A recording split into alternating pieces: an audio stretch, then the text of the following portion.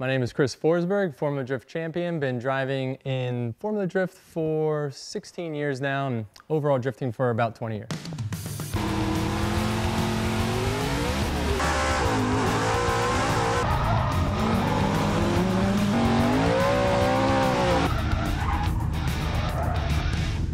I would say I first got into cars or motorsports around like 10, 11 years old. My uncles were really into drag racing. Went out to Maple Grove a couple times, went to some top fuel races. My grandfather was into drag racing as well.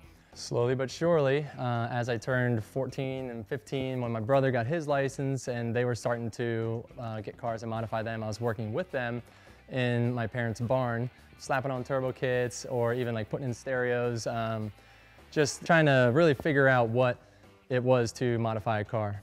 My first drift car, it was a 1988 Mazda RX-7, and I got it specifically to try and make a drift car. Uh, my friend told me about rotaries and how kind of crazy and loud they were, and so I was kind of hooked on it. And then I dragged it out to California for the D1 driver search that we learned about in 2003.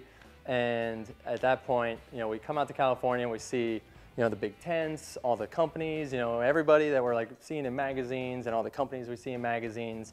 I knew that if I didn't kind of pack up and get out to California where the scene was kind of exploding, that I was gonna miss a wave. And so I actually come back from that event, which I failed at horribly, didn't make it past first round, and sold the car, sold a bunch of stuff, and I picked up a Nissan 350Z. It had just come back to the market uh, in 2003 and I felt that getting a car that was going to be new and flashy and not just another 240 would help me stand out in that crowd. You know, I actually made payments on that car through the first five years of Formula D that I had that thing. But yeah, that was um, the car that kind of helped project me into uh, professional drifting because as I arrived to California with this brand new Z, people were kind of looking at me to say like, you know, who is this guy? And it was also easier to work with some companies because we had a car that they wanted to develop parts on after I sell all my stuff, get a 350Z, move to California uh, with you know no house or anything lined up. I was like living in uh,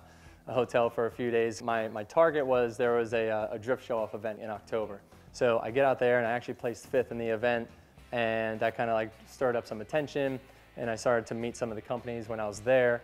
And only a month later, was um, the SEMA show 2003 where Formula Drift announced the Formula Drift North American Championship at SEMA. And I was like, this, this is it. This is what I'm here for. And, you know, like it's all kind of falling into place.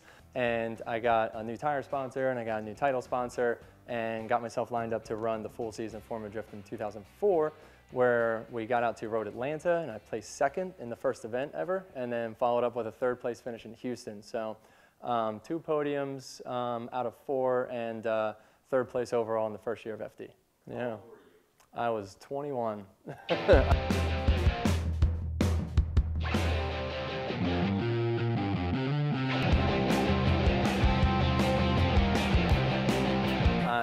uh, living in a garage, um, you know, working in a shop on the weekends to try and make some extra money. And, um, you know, we're just like having fun with our friends. Like, didn't really have much of a care in the world you know, you fast forward 16 years later, and you know, here we are with a you know big shop doing projects, doing builds. The cars are more insane than ever, and um, you know, never at that time um, at those first events did I think that it would turn into this. It um, it just seemed like it was just going to be like kind of like quick in and out, like a fun fad. Um, obviously, we wanted it to progress and to grow, but I just honestly didn't really think it would. It's funny because right after that is when my career almost ended. I actually lost my sponsor and as we went into the year, we only had enough budget to make it to like the first two or three rounds. We just went out with, I don't know if it was determination. We podiumed um, three or four rounds that year, three rounds. And um, so we were actually paying our way through FD off the winnings. And um, with every with every win, we had enough money to go to the next round and to keep going and going. And we finished second. And just that effort and determination um, landed us our primary sponsorship with NOS for 2008. You know, none of us had any idea where we're going with this. We were basically trial and erroring these cars every season. And so um, every year, like you'd have someone with a new theory, and it was about trying to catch up to that idea. And so it's just funny. It's just been like, you know, cat and mousing for the past like 15 years. Where we are now is, is very, very impressive to watch.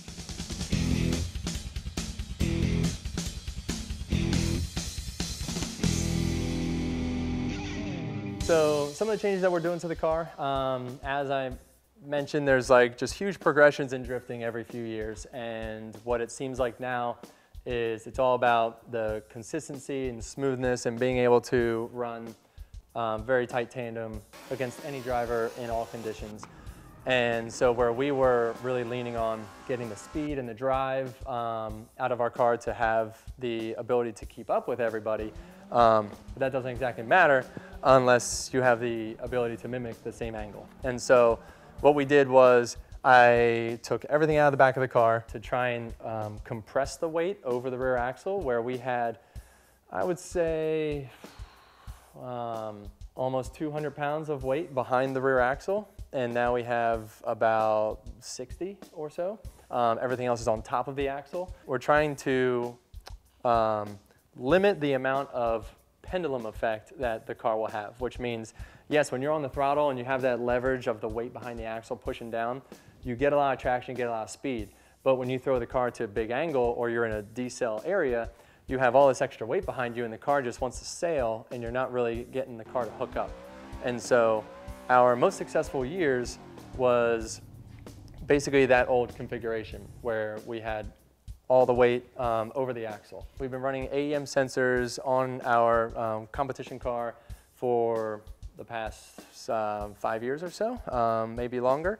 And over the years, we've been um, applying more and more AEM products to the car, and we are now starting to see a, a variance in um, the actual power output on the V motor, right? So we're having more output on the one bank versus the other, and we're actually seeing that in the logs. And so AEM came out with a uh, multi-channel EGT unit that we can plug into our race harness. It'll give us the ability to plug six individual EGT sensors into each exhaust runner so we can actually see the output of each cylinder and be able to trim each cylinder to get the engine working as smoothly as possible.